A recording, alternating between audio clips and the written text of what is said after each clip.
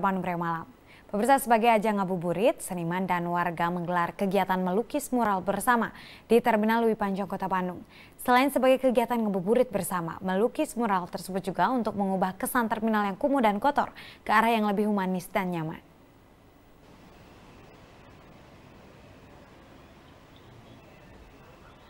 Sejumlah warga bersama petugas Dinas Perhubungan Kota Bandung, kepolisian, dan para sopir asik mengikuti kegiatan melukis mural bersama di Terminal Lewi Panjang Kota Bandung. Kegiatan yang digelar Dinas Perhubungan Kota Bandung ini dalam rangka ngabuburit bersama dengan tujuan mengubah kesan kumuh yang telah menempel pada terminal tersebut ke arah yang lebih humanis dan nyaman.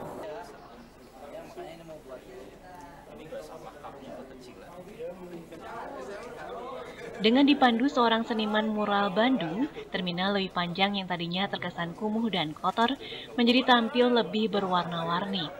Lobi dan dinding-dinding di gedung utama terminal dilukis mural dengan cara abstrak dekoratif.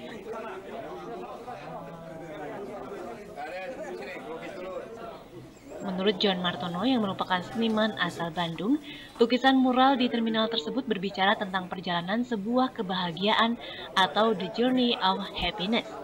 Dalam kegiatan ini, warga bersama petugas bisa bersama-sama bersosialisasi melalui sebuah lukisan dengan spirit mengubah kesan terminal yang kumuh menjadi lebih humanis. Perjalanan kebahagiaan sebenarnya. Jadi menurut saya sebenarnya aktivitas ini yang yang saya namakan sebagai the journey of happiness. Jadi sebenarnya uh, gambar ini adalah karya masyarakat, bukan karya saya. Jadi, perjalanan bersama ini, aktivitas sore ini yang yang yang, yang saya ingin uh, timbulkan itu aja. Warga pun mengapresiasi kegiatan lukis mural bersama karena terminal tersebut menjadi terkesan lebih nyaman.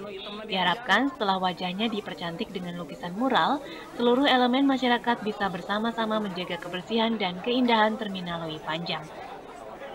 Yuwana Kurniawan, Bandung.